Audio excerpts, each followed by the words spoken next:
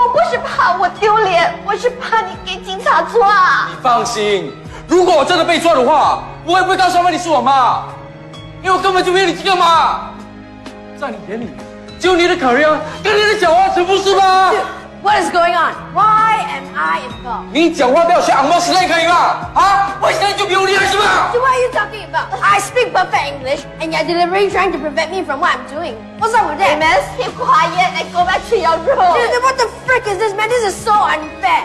We Unfair, live- you diam diam, okay? You do kau, okay kamu? Unfair, unfair! Dude, dude, we live in a democratic society, and we have freedom of speech. Amos, just keep quiet. Dude, why do you keep on asking me quiet? Why don't you ask Damien to keep quiet? You obviously love him more than me. This is so unfair. This is so